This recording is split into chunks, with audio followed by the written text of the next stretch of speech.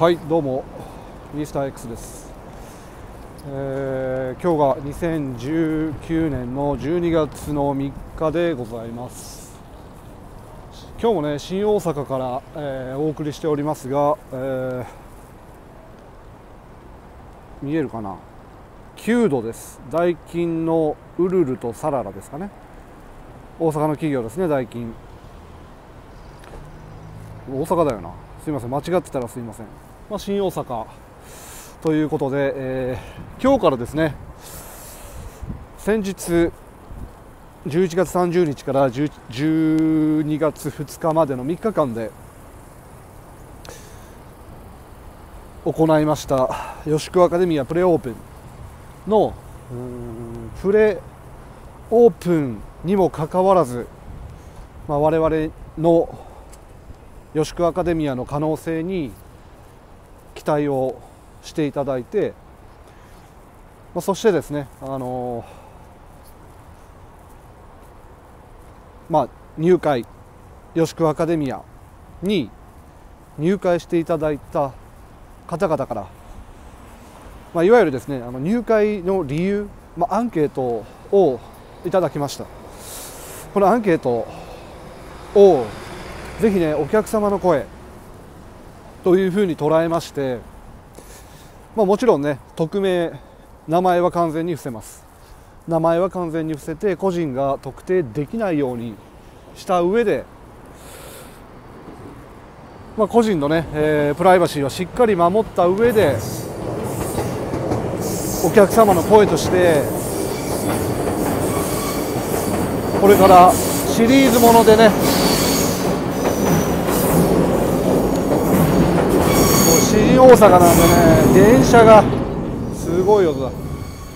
シリーズものとして動画を撮っていきたいと思います。とてもですね。うん非常にありがたい声ががですね詰まった、まあ、アンケート結果になっております、まあ、いわゆる入会理由ですよね。なぜ吉久アカデミアにご入会いただいたのか。なぜ吉久アカデミアを選んでこのプレーオープンにもかかわらずですね。まだプレーオープン、えー吉久アカデミア自体には何の実績もないわけですけども期待をしていただいて可能性を感じていただいてご入会いただいたのかっていう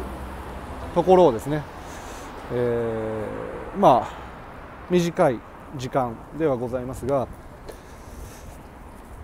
一話一話はね短くいきたいと思います。で見やすいとても見やすい、えーお客様の声として発信してまいりたいと思いますのでぜひね、えーグランドオープンを12月中旬以降に控えておりますのでぜひねご参考になればという思いでそしてうんあとはやっぱりねあのお客様の声を見ていただいてである程度学学びにもなるなっていうような